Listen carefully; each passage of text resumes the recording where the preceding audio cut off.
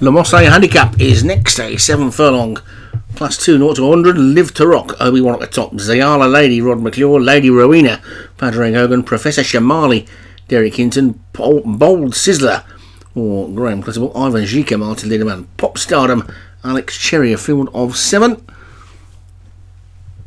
in this 7 furlong handicap.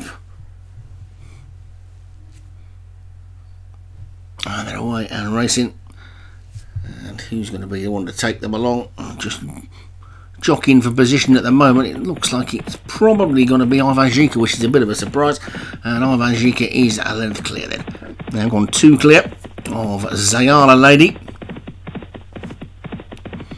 And Live to Rock. Then comes Lady Rowena and Bold Sizzler. It's Ivan Zika who's settled down in the lead.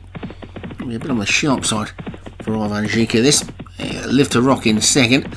Then comes Zayala Lady in third. Bold Sizzler is fourth. Wide on my truck is Professor Shamali in the pink.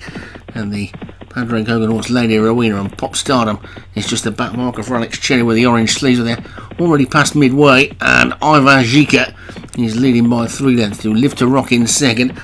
And then Lady Rowena and Zayala Lady. Then comes Bold Sizzler, Professor Shamali, Pop Stardom still just the back marker as they head down towards the two furlong pole. And Ivan Zika is still the leader. From Zayala Lady in second and then Lady Rowena Live to Rock on the inside.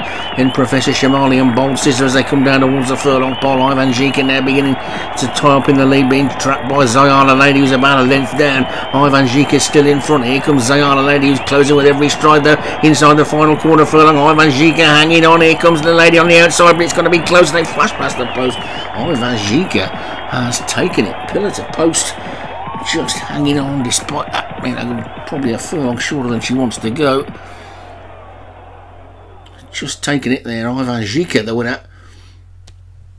For Martin Linham, um, Zayala Lady was second for Rod McClure. Lady Rowena Padraig Hogan was third. Live to Rock Obi won fourth, and Professor Shamali for Derek Hinton was back in fifth.